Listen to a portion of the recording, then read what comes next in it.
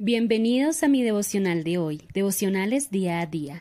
En este espacio vamos a apartar un tiempo especial para escuchar a Dios. Por eso te pido que por favor dejes de lado cualquier distracción que pueda alejarte de su presencia. Antes de empezar quiero contarte que este es un devocional estructurado llamado Tiempo con Dios. Es un recurso que requiere pago, pero decidí compartirlo gratuitamente en este canal.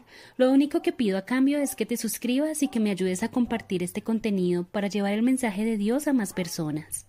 Este plan de devocional diario está diseñado para leer la Biblia de manera consecutiva, pero en fragmentos pequeños para una mejor comprensión. No seguimos un orden lineal de libros, sino que leemos cada libro completo antes de pasar al siguiente. Quiero que sepas que estoy muy feliz de tenerte aquí y de que estés buscando conocer a Dios. Aquí todos son bienvenidos. El Señor te bendiga. Al día siguiente, cuando el sirviente del hombre de Dios se levantó temprano y salió, había tropas, caballos y carros de guerra por todos lados. Oh, Señor, ¿qué vamos a hacer ahora? No tengas miedo. Hay más de nuestro lado que del lado de ellos. Entonces Eliseo oró. Oh Señor, abre los ojos de este joven para que vea. Así que el Señor abrió los ojos del joven, y cuando levantó la vista, vio que la montaña alrededor de Eliseo estaba llena de caballos y carros de fuego. Cuando el ejército arameo avanzó hacia él, Eliseo rogó, Oh Señor, haz que ellos queden ciegos. Entonces el Señor los hirió con ceguera, tal como Eliseo había pedido. Luego Eliseo salió y les dijo, Ustedes vinieron por el camino equivocado. Esta no es la ciudad correcta. Síganme y los llevaré a donde está el hombre que buscan. Y los guió a la ciudad de Samaria. Apenas entraron en Samaria, Eliseo pidió en oración. Oh Señor, ahora ábreles los ojos para que vean. Entonces el Señor les abrió los ojos y se dieron cuenta de que estaban en el centro de la ciudad de Samaria. Cuando el rey de Israel los vio, gritó a Eliseo, ¡Los mato, padre mío! ¡Los mato!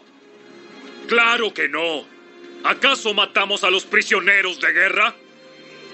Dales de comer y de beber, y mándalos de regreso a su casa con su amo. Entonces el rey hizo un gran banquete para ellos y luego los mandó de regreso a su amo.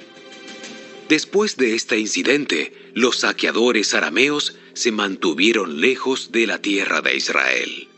Vamos a la explicación. Vamos a la explicación y a la reflexión. El siervo de Eliseo estaba lleno de miedo, pero su temor desapareció cuando vio al poderoso ejército celestial de Dios. Sin embargo, no pudo verlos hasta que Eliseo oró por él. A veces no es que Dios no esté obrando, sino que nuestros ojos espirituales no logran percibirlo. Es importante notar que Eliseo no pidió a Dios que cambiara la situación. Su única solicitud fue que su siervo pudiera ver la verdadera realidad. Además, Eliseo no trató de convencer a su siervo de la existencia de los que estaban con ellos cuando el siervo no los veía. Dios respondió a la oración de Eliseo. Cuando una persona está ciega a la realidad espiritual, solo Dios puede abrir sus ojos. Aunque Dios puede usar las palabras de alguien para este propósito, la verdadera apertura de los ojos espirituales es una obra divina que solo le pertenece a Él. En el contexto actual, debemos seguir orando al Señor para que Él abra los ojos espirituales de nuestros familiares que aún no han comprendido el Evangelio y no han entregado sus vidas a Cristo. Que la misericordia del Señor Jesucristo, el amor de Dios y la presencia del Espíritu Santo estén siempre con ustedes.